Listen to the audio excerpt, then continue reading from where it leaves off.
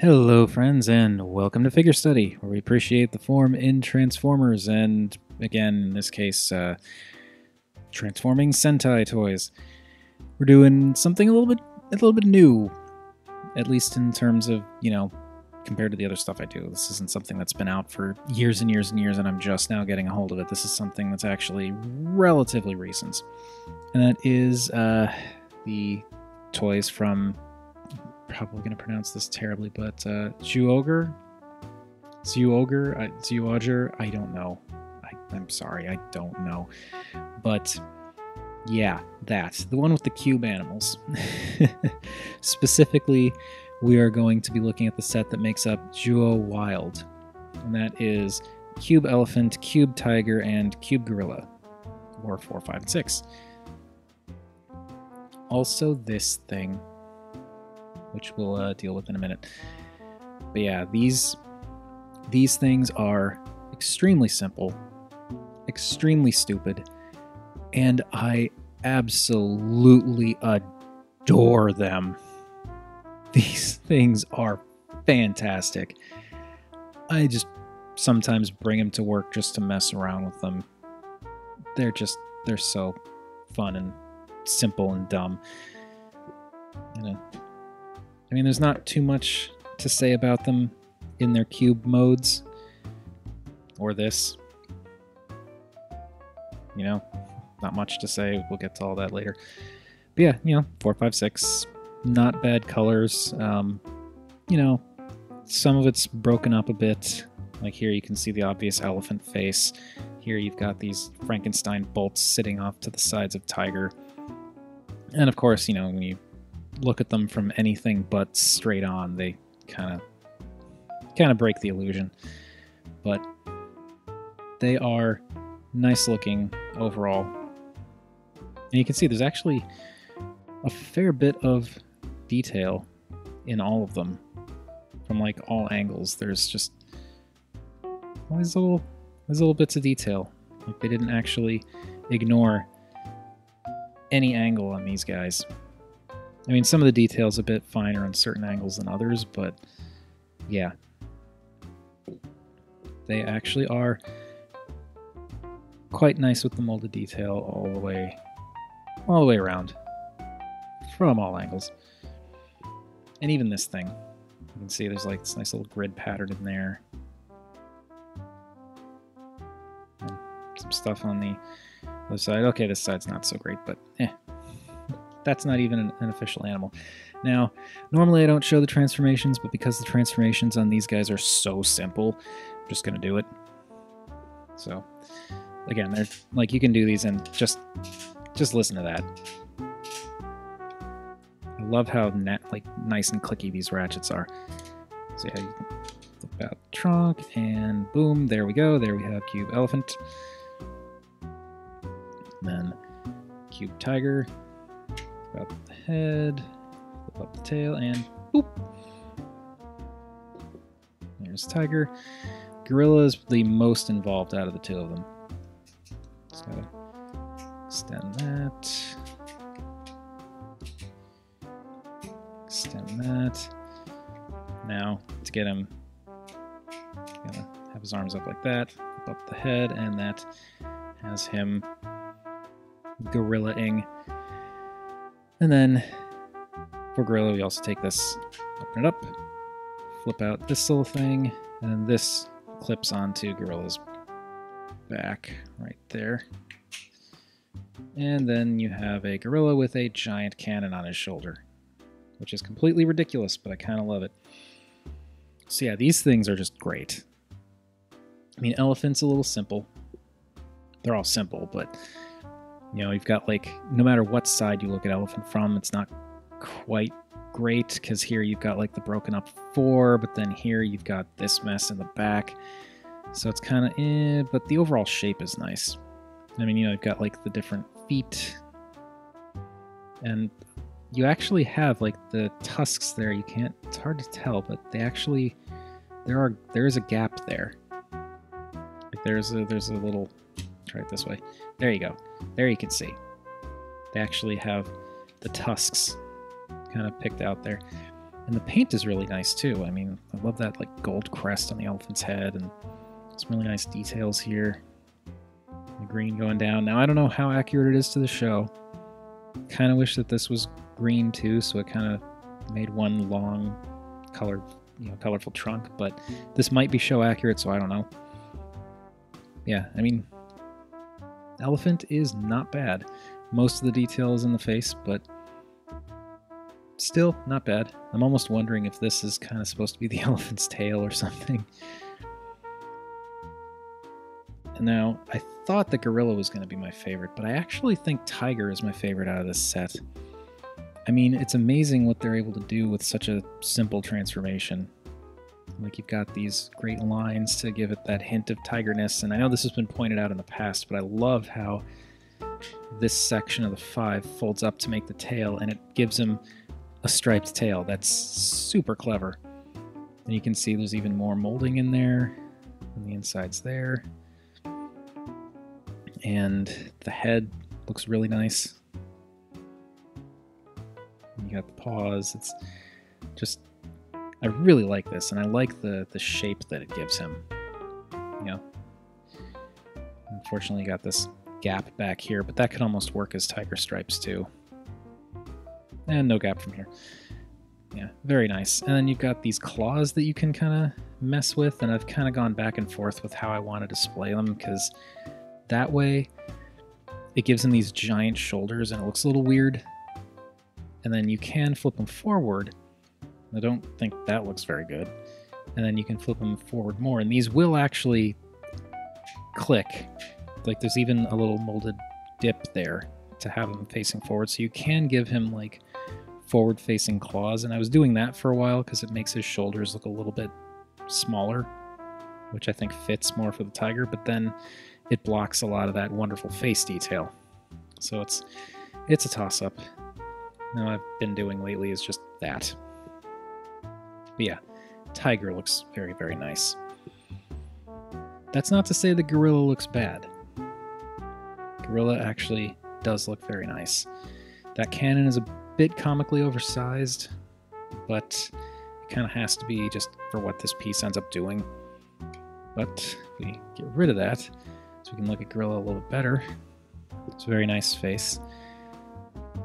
And I also like the gold that they have going here and the just the paint colorations, the molded beats. He's just like, I don't know. I just I really like how what what they do with these guys. And the only issue that I have with Gorilla without like you can you know you can have him out without the cannon on, but if you look at him from even slightly from the top, you start to see that big old hole, and that kind of I don't know. Not a fan of the hole, but still very cool. And I have to say, what really impresses me with these things, aside from them just being very satisfying to play with and very fun in their simplicity, I really respect how the designers were able to do so much with so little in terms of just the actual transformations, the details that they show, the details that they reveal, and the fact that it's all being done from these cubes, and every single one of these cubes has a hole going through the middle of it. So it's like, not only did they have to figure out how to design these transforming cubes that could turn into animals and also combine to make robots, but they had to have a big old hole going through the middle of them all. That's just really impressive to me. Anyway, let's move on to Zyuoh Wild. And, you know, very simple transformation. not going to do much in the way of explanation here. But very very simple.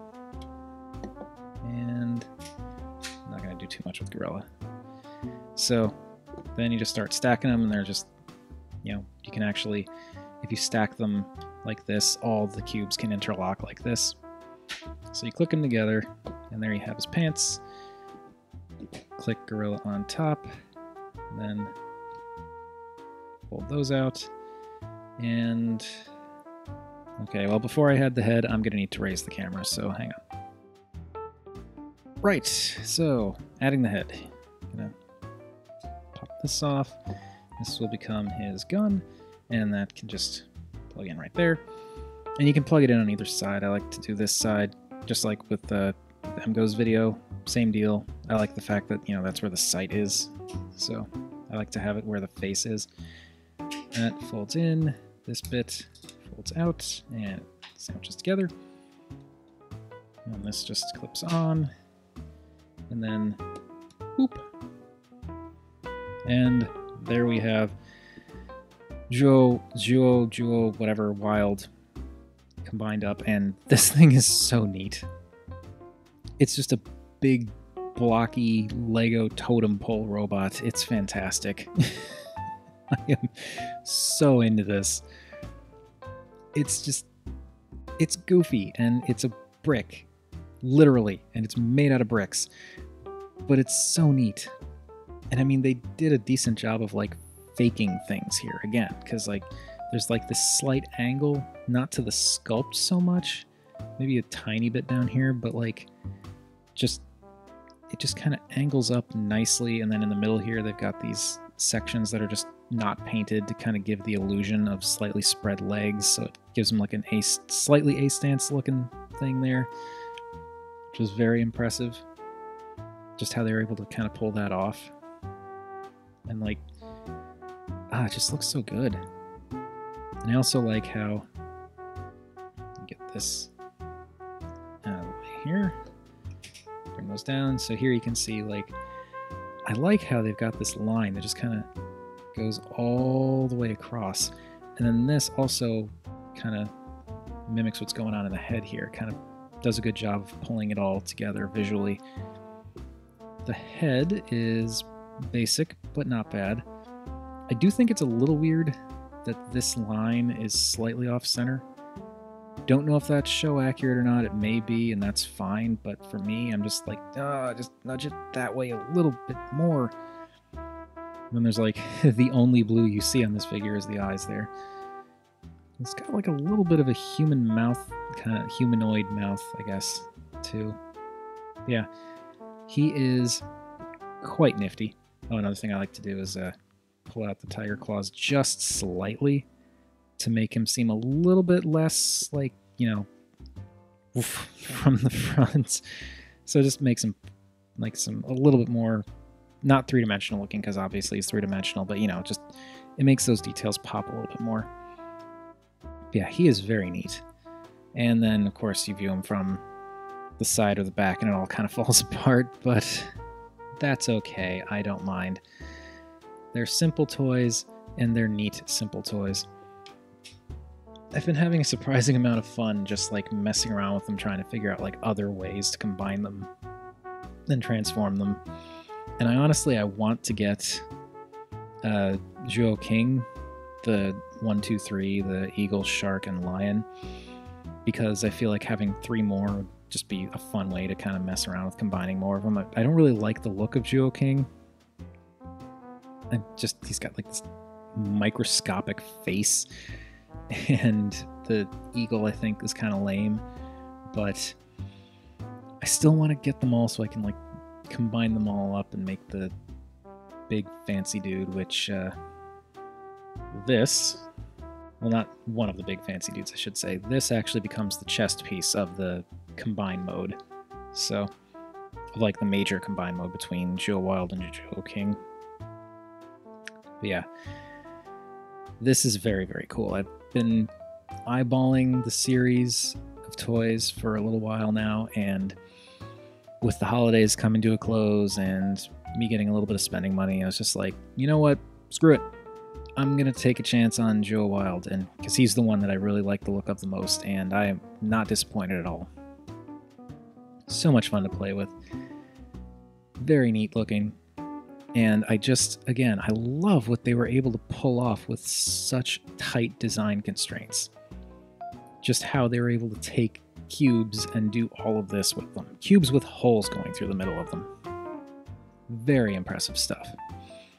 Anyway, that has been my look at the Zhu Ogre, Zhu Ogre, I don't know, I'm sorry, uh, Cube Elephant, Cube Tiger, and Cube Gorilla and their combined form of Joe Wild. And this thing is very cool. Anyway, thank you everybody for watching. As per usual, feel free to like, comment, subscribe. Any combination of those three would make me a happy Rob. And remember, I forgot to do size comparisons. so, real quick. There's Samus. Not tiny, but, you know, not huge, not like tiny for Sentai, but not a tiny figure overall. So, yeah. Heh, sorry. Anyway, yeah, uh, size comparison done. And remember, art is more than meets the eye.